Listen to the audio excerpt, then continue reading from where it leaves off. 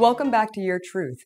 If you tune into our previous segments, then you already know how many of your tax dollars are being spent on the war and how much influence defense corporations have in the shaping of our foreign policy. Many people thought that the end of the George W. Bush administration meant the end of corruption and scandal in American politics. 2008 was looked forward to as the year for change, with Barack Hussein Obama emerging as the leading peace candidate in the Democratic Party. So now that he's in office, what steps has he taken to end the war on terror? The biggest change made thus far has been a name change. President Obama has substituted the term war on terror with overseas contingency operations. So, why would Obama do this? We asked the opinions of some students at San Diego State University. It's kind of frightening, actually, this phrase, overseas contingency plan. Um, I'm scared of that more than I am the war on terror. Because the war on terror is at least um, on the surface is trying to tell you what it's about. An overseas contingency plan is it's doublespeak, it's Orwellian. Well, maybe he's trying to make it seem like it's not a war anymore. That we're just doing things overseas to instead of it actually being a war, but I think it's still the same. Um, it can change like an outlook just on the fact that it makes it seem like it's going to be over soon. I think he's kind of just sugar coated it to make it sound better than it actually is. Well, it seems like a lot of students aren't fooled by this PR strategy and can see that changing the name to the war certainly doesn't mean an end to it. In this segment, we'll be taking a look at where we are now and what people all over the world are doing to be the change and to end the war. So, where are we now? Well, on the campaign trail, President Obama promised an immediate timetable for the withdrawal of our troops in Iraq. Ensure that we are not continuing to try to impose a military solution on what is essentially a political problem in Iraq. And that's why I put forward a bill that would begin a phased redeployment and have all our troops out by March 31st of next year. Your question was, could I guarantee all troops would be out of Iraq? I have been very specific in saying that we will not have permanent bases there. I will end the war as we understand it in combat missions. However, once he became president, the rhetoric changed. By August 31st, 2010, our combat mission in Iraq will end. After we remove our combat brigades, our mission will change from combat to supporting the Iraqi government and its security forces as they take the absolute lead in securing their country. Initially, this force will likely be made up of 35,000 to 50,000 U.S. troops. On March 27, 2009, Obama outlined a renewed effort to fight terrorism in the Middle East. Now, I have no illusion that this will be easy. In Iraq, we had success in reaching out to former adversaries to isolate and target al Qaeda in Iraq. We must pursue a similar process in Afghanistan while understanding that it is a very different country. There is an uncompromising core of the Taliban. They must be met with force. And now we face more unsettling news with regard to Afghanistan. President Obama has announced that we must refocus our efforts back to Afghanistan in order to help train the Afghan army against the Taliban. He proposes to send an additional 21,000 troops into the region. On May 5, 2009, CNN posted an interview with an Afghan Taliban spokesperson who promised that Afghanistan will be Obama's Vietnam. Two days later, Raw Story reported that the cost of fighting the war in Afghanistan will overtake that of the Iraq conflict for the first time in 2010. The same day, the media reported that a sprawling 440 acre U.S. military base is being constructed in the middle of the Afghan desert to accommodate the increased troop presence there. But that's not all. Since Obama took office, we've been sending drone planes into Pakistan, bombing villages and killing hundreds of innocent people in an attempt to fight Al Qaeda. Ironically, the latest war funding bill includes $1.4 billion in security and development aid for Pakistan.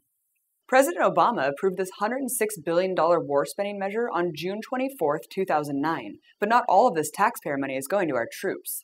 12% has been allocated to the International Monetary Fund and the swine flu pandemic. It seems as if President Obama is not looking to end the war on terror, but is looking to expand it instead. In light of these facts, it's clear that the president has failed to fulfill the promises to the anti war base that got him elected. So, how do we get him to stay true to his word? Movements and organizations full of regular people like you and me are springing up all over the country and mobilizing for peace. People are finally starting to realize that change can begin with concerned citizens taking action. One of the largest worldwide efforts to bring accountability and justice back into politics is We Are Change. We Are Change is an international movement of activists who aren't afraid to ask the tough questions and demand answers the corporate media will not. We Are Change is a grassroots, uh, bottom-up organization that talks about real issues that the mainstream media never even wants to touch or deal with. We are activist journalists going out there asking the hard questions to journalists, uh, corporations, big banks that the mainstream media never even dares to ask, and we get amazing reactions. We put those videos out on the internet, and people get to see true, un, uh, un unedited, real journalism. Code Pink began as a small peace and social justice movement dedicated to ending wars in Iraq and Afghanistan and preventing new wars from starting.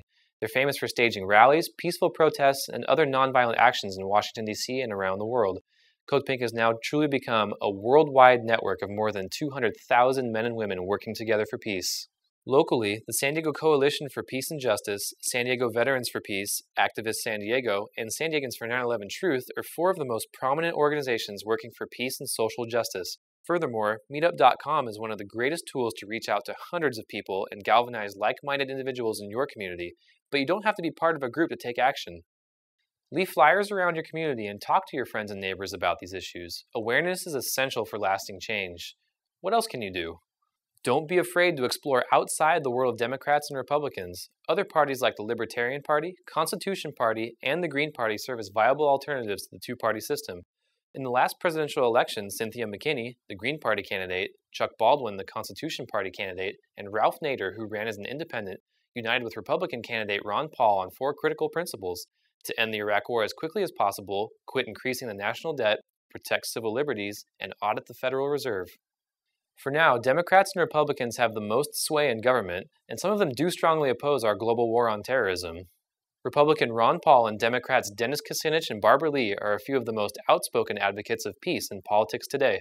Representative Lee demonstrated remarkable fortitude when she was the only member of Congress to vote against authorizing military force in the wake of 9 11. We encourage you to research these representatives and find others who consistently advocate responsible foreign policy. If you think one person can't change anything, think again. When Cindy Sheehan lost her son Casey during combat in Iraq in 2004, she channeled her grief through activism. She stepped up as the spokesperson for the anti war movement and drew national attention in 2005 when she camped out next to President Bush's Crawford Ranch until he agreed to meet with her.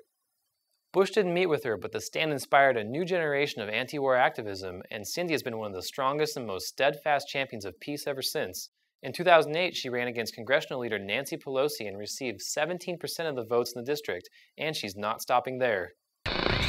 What I say in my book that I'm writing right now, Myth America, is that when, before my son was killed, I knew that that during war people profited, but I thought that profit was a consequence of war.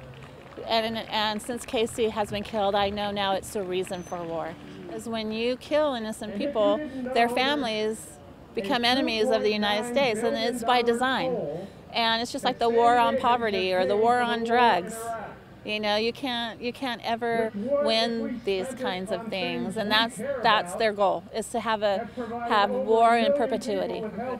The more numbers that that step outside the system and start voting for third party or supporting third party candidates hopefully um, that has some effect in Washington, D.C.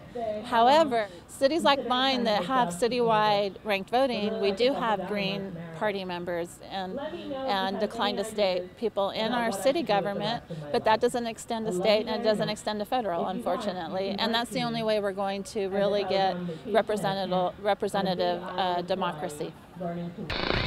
The bottom line is that we must hold our elected officials accountable for their actions. We need to work for peace in this country and around the world. So what are you waiting for?